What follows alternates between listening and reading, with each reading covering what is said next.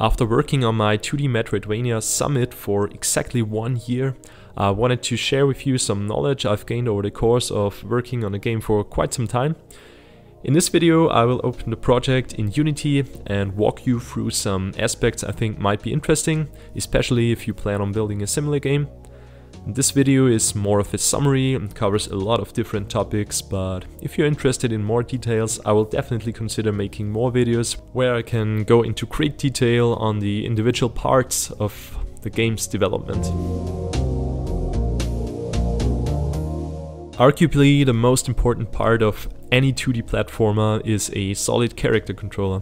It's almost impossible to spend too much time on nailing the physics and feel of your character, it's also crucial to finish the core movement and abilities as early as possible and before doing any level design for obvious reasons. In retrospect, I'm rather satisfied with how my character physics turned out, and I'm glad I spent at least a few full days tweaking my core physics inside this black box environment without any visual distractions. Two of the core mechanics in my game, which I knew from the start on, are wall climbing and the grappling hook. Over the course of development I spent a lot of time on only these two and I added many details like hoisting, pulling up walls, enhancing the grappling hook by combining multiple different joints, and playing around with the player's release velocity. Unity's physics engine Box2D is great and I wouldn't want to build a 2D game without it, but especially for character physics, don't be afraid to mess around with the physics on your own. Tilemaps have been the most popular form of representing 2D environments since the early days of the genre. In the NES days, one big reason for using tilemaps was obviously optimization and to minimize file size. Nowadays we don't have these limitations anymore, but tilemaps still prevailed as a really good tool for 2D games, especially platformers. I personally had two main reasons for using tilemaps. First, building environments is really fast, Unity's 2D tools have evolved to be pretty powerful over the last years. Among those is the powerful tilemap editor, which lets you place tiles on a grid in a really efficient way. And second, level design is more straightforward. So having everything aligned on a grid is great for 2D platformers where precision is super important. For instance, if I know that the player's character can jump 3 tiles high, 5 tiles wide, I can easily build the levels and platforming sections around that. One of the biggest time savers for me was to use rule tiles, a feature which is included in Unity's 2D uh, extensions package. Rule tiles are special tiles which automatically shape into the correct visual tile depending on its position and its neighboring tiles. You can basically define a list of rules, each resulting in a different tile to be displayed. This is similar to 9 slicing, which is often used for sprites that should be flexible in width and height. Rule tiles are extremely powerful and I couldn't imagine building a larger 2D world without them. I can just paint an entire area with a single rule tile where otherwise I would have to manually pick the right ones for ledges, corners and so on. For each tile set I use two different rule tiles, the main one containing all the solid tiles and a second one containing a thin decorative uh, padding around. Initially I had both in one rule tile, but the rules turned out to get extremely complicated and some situations were even impossible to represent I thought. Also it was pretty awkward to place because you had this one tile padding. Another cool thing about tile maps in Unity is that you can use the very clean composite collider, which essentially combines all the individual tile colliders into one connected collider. This is great for performance and also eliminates weird glitches where objects can get stuck between colliders. The cleanest solution, which I also used, is to set the type to outlines, which essentially means you have connections of lots of individual edge colliders.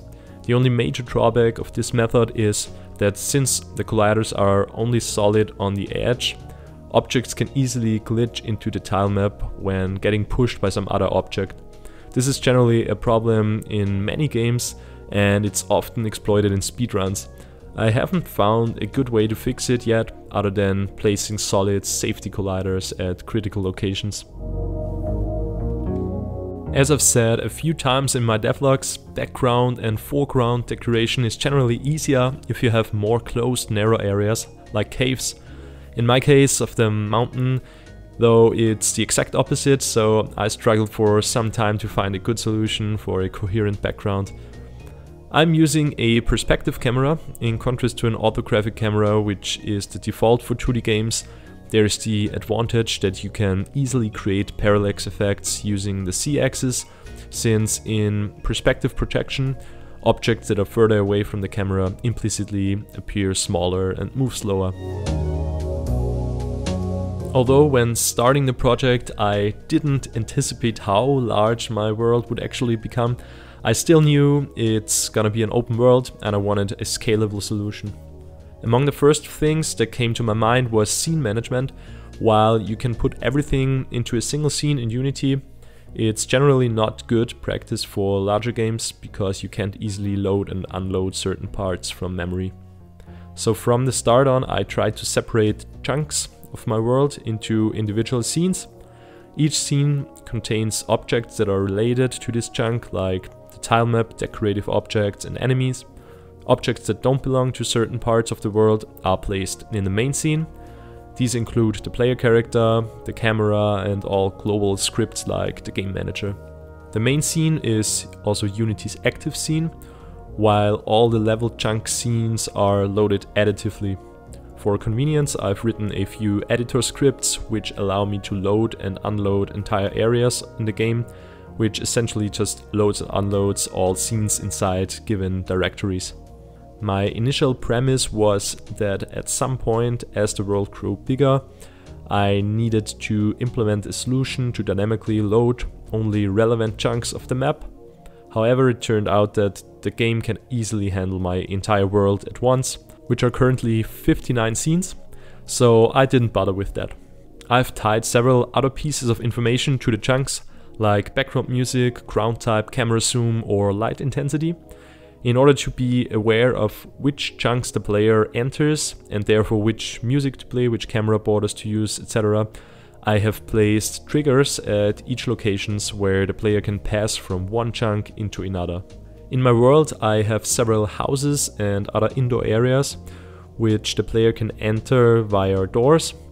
These indoor areas work exactly like the chunks, just that they are somewhere off the map and the player is teleported to their entrance point when entering the specific door. This obviously works both ways, so the player can exit the same way. I don't know if that's the most beautiful way of implementing such a system, but at the time it seemed like the easiest way and so far I haven't come across any problems with it. Serialization, which is creating a save game and restoring it in ideally the same state, is a major topic in the development of most games.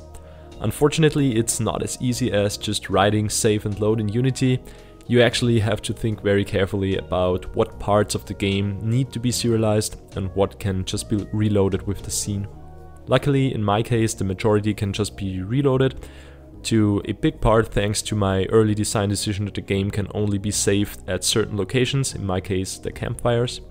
Furthermore, I used what I would call a subtractive approach, meaning that initially most of the game objects are part of the scene, and as the player interacts with stuff, more and more objects are removed. I have a persistable component which I put on objects that need to be serialized if the object is then destroyed during gameplay. For instance, if a herb is harvested, the persistable sets its alive flag to false. When the game is loaded, the persistable component then checks whether its object is still alive and if not, it just destroys it right away. A similar approach is used for objects which have a boolean state like switches for example, or objects which have a slightly more complex state like NPCs. In retrospect, this simple solution which I've implemented rather early on has pretty much stood the test of time and I had to spend far less work on serialization as I expected. Since I intended to create all the game's art by myself, I anticipated that it will probably take up the largest amount of time in the entire project. So I really needed an art pipeline which was as fast as possible and still looked decent. For the art style, I knew I would use the flat style, which I've worked with in the past. I've created all original assets using Inkscape, directly exporting to Unity as PNGs. A few months in, I decided that I wanted a little bit of texture, especially on larger objects. So I added in a step where I put some light texture on the surfaces using Photoshop. For the characters, of which there are exactly 45 at the time by the way, I chose Unity's PSB and 2D animation workflow. I started again in Inkscape creating the character and separating its body parts into different SVG layers. I then had to do the awkward step of opening the SVG in Illustrator just so I could export it as a Photoshop PSD, which I then open in Photoshop to export it as a PSB, which is the format that Unity's 2D animation package requires. These conversions are the only annoying parts and if I could just export directly out of Inkscape the workflow would be really awesome. Anyway, the PSB can then be opened with Unity's sprite editor where I can rig the character. After having rigged a few characters I could most of the time just copy and paste the rig to new ones. The weight painting usually worked out of the box, sometimes I had to make some adjustments with the bone influence. After that, the characters were ready for animation, which is also nicely integrated into Unity. All in all, Unity's 2D character workflow is really good and especially if you're drawing your characters in Photoshop, you could just work directly with the PSB and avoid the annoying export stuff. I hope this video could give you a little overview over the individual parts that make up my 2D Metroidvania so far. It barely scratches the surface on most topics, but as I said, I'd be pretty happy to create some more in-depth content in the future. If you're further interested in the game's development and the incremental improvements that brought me here, be sure to check out my previous devlogs. And if you're also interested in playing the game, check out my Steam page and consider wishlisting the game. Hope to see you soon for some more behind the scene game development. Until then, have fun creating.